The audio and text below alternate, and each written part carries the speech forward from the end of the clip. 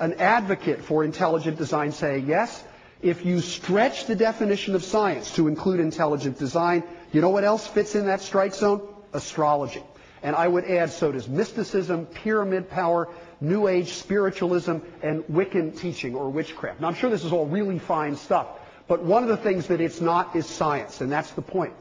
And I think the relevant question that anyone who advocates intelligent design has to answer is you want to open the science classroom up to intelligent design.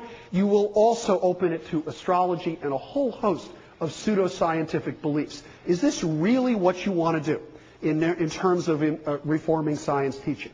And I should point out, this was not an accidental statement by Dr. Behe. He said it in his deposition. Then he said it in trial. The attorney asked him again, are you sure? Do you really mean that? And he went on and he said yes, and he thought astrology had made some very fundamental contributions to science. So in any event, um, that's where we are with this. Now, one of the questions that I wanted to ask for, uh, in front of this audience tonight is whether or not we can learn anything from the Dover trial. Um, I, have only been in two trials in my life. Actually, I guess I've been in three because I served in a jury for another trial. But it's really different being on the witness stand and being cross-examined and seeing all these people there.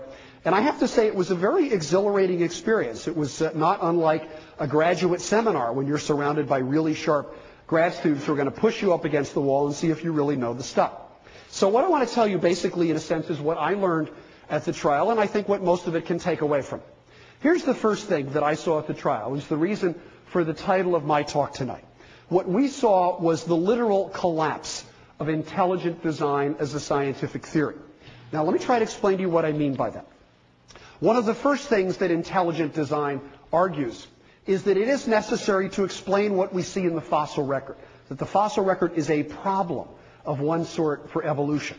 You might hear people say that the fossil record doesn't support evolution.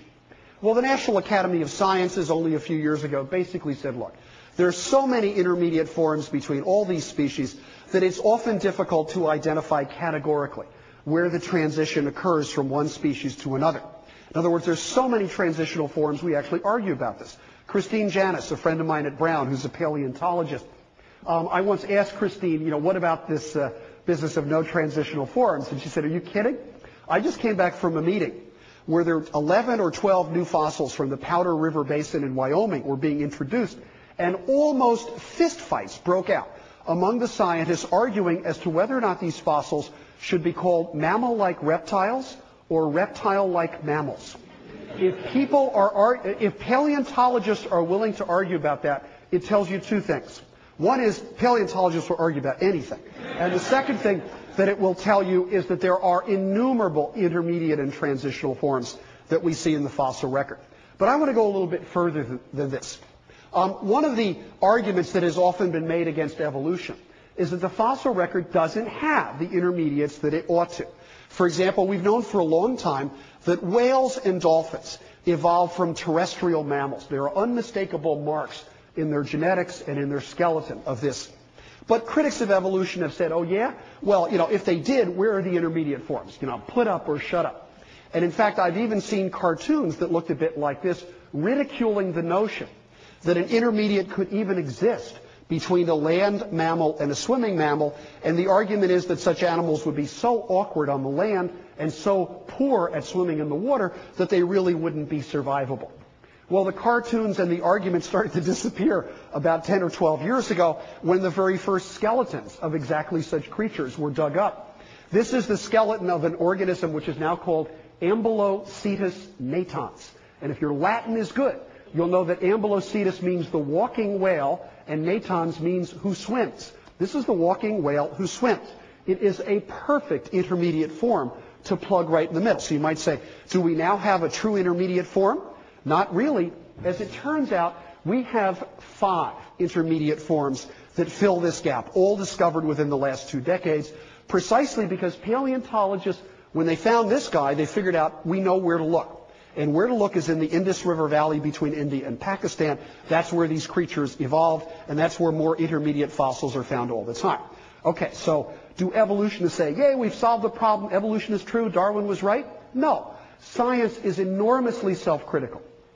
If this really happened, if this is a genuine evolutionary series, Do you know what has to have happened along with it? The middle ear has to have been completely changed. And the reason for that is the middle ear that a land mammal like us has is very good for hearing in the air. If any of you have scuba dived or snorkeled, you know that your hearing stinks underwater. Hearing is lousy. But the underwater hearing of these guys is sensational. It's so good they can use it as a form of sonar. That's because their middle ear structure is entirely different. So if this is real, we should be able to look at the middle ear structure of these fossils and see intermediate forms in which they're reshaped. And you know what? That's exactly what we see. This is a paper a year and a half ago from Nature dissecting a series of fossil skulls and showing exactly how the apparatus in the middle ear was remodeled through a whole series of intermediate forms to change from an apparatus that was good for hearing in the air to an apparatus that was intermediate to an apparatus that was terrific for hearing under the water. So the fossil record, the more we fill it in, the more complete it becomes and the more powerful it becomes as evidence for evolution. The second thing that you saw at the trial was that when data was introduced at the trial, which I and another witness introduced from whole genome sequencing, the intelligent design advocates just literally had nothing to say. We weren't asked questions in cross-examination. The other side never brought it up. They never argued against it. They just left it. Here's an example. Um, many of you may know that a few months ago, the genetic code of the chimpanzee was published. Therefore, we can compare our genome to these primate relatives. What do we find? I want to show you one striking finding that dates to about a year ago. You all know that evolution argues that we share a common ancestor with the great apes, the chimpanzee, the gorilla, and the orangutan. Well, if that's true, there should be genetic similarities, and in fact there are. But there's something that's really interesting and has the potential, if it were true, to contradict evolutionary common ancestry. And that is, we have two fewer chromosomes than the other great apes. We have 46, they all have 48. That's very interesting. Now, what does that actually mean? Well, first of all, um, the 46 chromosomes that we have, you got 23 from mom and 23 from dad. So it's actually 23 pairs. These guys have 24 from each parent, so they have 24 pairs. So everybody in this room is missing a pair of chromosomes. Now, where did it go? Could it have gotten lost in our lineage? Uh-uh.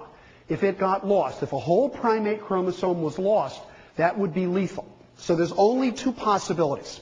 And that is if these guys really share a common ancestor, that ancestor either had 48 chromosomes or 46. Now, if it had 48, 24 pairs, which is probably true, because three out of four have 48 chromosomes, what must have happened is that one pair of chromosomes must have gotten fused. So we should be able to look at our genome and discover that one of our chromosomes resulted from the fusion of two primate chromosomes. So we should be able to look around our genome. And you know what? If we don't find it, evolution is wrong. We don't share a common ancestor. So if, how would we find it? Well, biologists in the room will know that chromosomes have nifty little markers. They have markers called centromeres, which are DNA sequences that are used to separate them during mitosis, and they have cool little DNA sequences on the end called telomeres. What would happen if a pair of chromosomes got fused? Well, what would happen is the fusion would put telomeres where they don't belong in the center of the chromosome, and the resulting fused chromosome should actually have two centromeres. One of them might become inactivated, but nonetheless, it should still be there. So we can scan our genome, and you know what? If we don't find that chromosome, evolution's in trouble. Well, guess what? It's chromosome number two. Our chromosome number two was formed by the fusion of two primate